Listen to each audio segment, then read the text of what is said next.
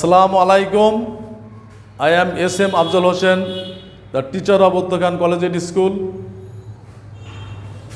I am going to teach you changing sentence today's class is how to change assertive to interrogative আমাদের আগের class আমরা নিয়েছিলাম affirmative to negative or negative to affirmative সেন্টেন্সের নিয়মগুলো।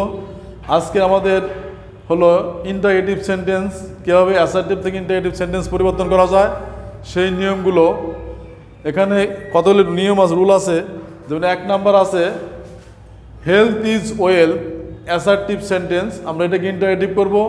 Isn't health wealth এখানে আছে subject verb object আর যখন আমরা ইন্টারেটিভ করব, এই সেন্টেন্সের ভার্বটি সর্বপ্রথমে, আর সেন্টেন্সটা যেহেতু অ্যাসার্টিভের অ্যাফার্মেটিভ তখন আমরা নেগেটিভ ইন্টারেটিভ করব। তাহলে সাবজেক্ট ইজ নট এরপরে সাবজেক্ট অবজেক্ট প্লাস প্রশ্নবোধক চিহ্ন।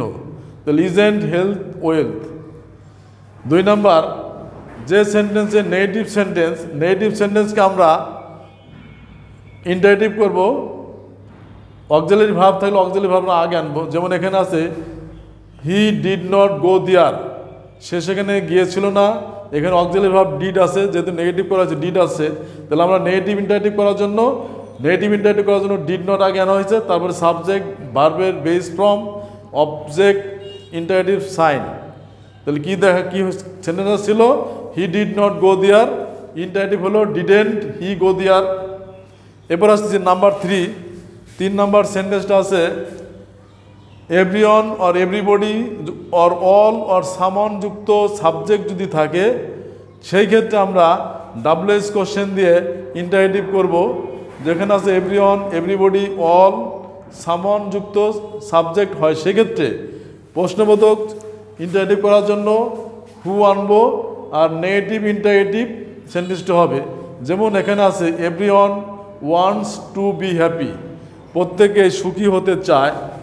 এভরিওয়ান যুক্ত সেন্টেন্স দিয়ে subject everyone wants to be happy তাহলে এখানে আমরা হু নিছি ডাব্লিউএস ওয়ার্ড হু তাহলে who doesn't want to be happy এবং শেষে প্রশ্ন ইন্টারেটিভ সাইন নেক্সট কোশ্চেন আছে হলো এভরি অর অল এরপরে নাউন থাকলে কীভাবে সেন্টেন্সটা করব? এভরি আর অল এখানে উঠে যাবে ইজ দিয়ার অ্যানি এখানে এভরি আর অলের স্থলে ইজ দেয়ার অ্যানি হবে। এরপরে noun, W S what, auxiliary verb doesn't does not, এরপরে বাকি অংশ, ইন্টারেটিভ সাইন। তাহলে কী কী দেওয়া হলো সেন্টেন্সটা? Every man hate a liar. প্রত্যেককে একজন মিথ্যাবাদীকে ঘৃণা করে। সেন্টেন্সটা হলো who doesn't hate a liar. এরপরের সেন্টেন্সটা আমরা এরপরের সেন্টেন্স নাম্বার ফাইভ যে সেন্টেন্সে নো বডি নান অথবা নো দিয়ে শুরু থাকবে এই ধরনের সেন্টেন্সে আমাদের অ্যাসার্টিভ থেকে ইন্টারেটিভ করতে এই সমস্ত ওয়ার্ড নো বডি নান বা নো এর পরিবর্তে হু দিয়ে শুরু করতে হবে। যেমন none can do this none can do this কে এটা করতে পারে? তাহলে এখানে আমরা ইন্টারেটিভ করব হলো হু দিয়ে। Who can do this. কে করতে পারে? অথবা এইভাবেও হইতে পারে।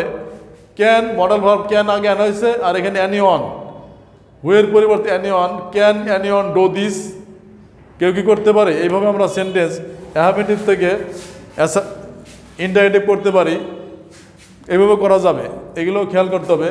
এরপরে আসছে number six number question nothing বাক্যের মাঝে বসলে কিন্তু নাথিং সাবজেক্ট হিসেবে বসলে নাথিং একটা সাব যদি বাক্যের মাঝে বসে, তাহলে সেখানে এনিথিং নাথিং উঠে এনিথিং দিয়ে করতে হবে। আর নাথিং যদি সাবজেক্ট হিসেবে হিসেবে বসলে, সেখানে হট দিয়ে শুরু করতে হবে। যেমন he knows nothing about the matter সেই ব্যাপারটি নিয়ে কিছু জানে না।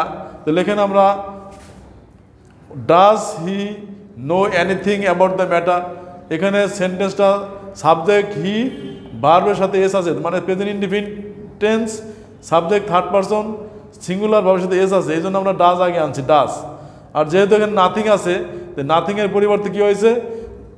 এনিথিং কোথায়? Does he know anything about the matter প্রশ্নবোধক চিহ্ন।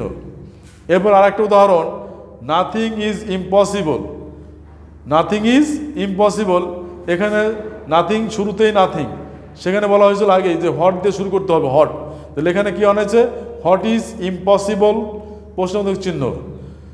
তাহলে আমরা এইভাবে এই সেন্টেন্সগুলো অ্যাসার্টিভ থেকে ইন্টারগেটিভ এইভাবে আমরা চেঞ্জ করব। নেক্সট কোশ্চেন রুলসটা দেয়ার ইজ নো অথবা অবলিক নো বডি অথবা নান থাকলে কীভাবে করতে হবে? There is no oblique none অথবা নোবডি থাকলে কীভাবে করতে হবে? এখানে হু ব্যক্তির পরিবর্তে হু হবে আর বস্তু আছে হলে হট হবে এবং নেগেটিভ থাকলে অ্যাহমেটিভ ইন্টাগেটিভ এবং অ্যাহমেটিভ হলে নেগেটিভ ইন্টাগেটিভ করতে হবে। যেমন উদাহরণ there is no hope for us there is no hope for us তাহলে এখানে আমরা কী করলাম? What. What is the hope for us প্রশ্নবোধক চিহ্ন। তাহলে আমাদের অ্যাসার্টিভ থেকে ইন্টারেটিভের মোটামুটি রুলস আমাদের জানা হলো। এই রুলসগুলি মনে রাখতে হবে এবং আমাদের বিশেষ করে প্র্যাকটিস করতে হবে।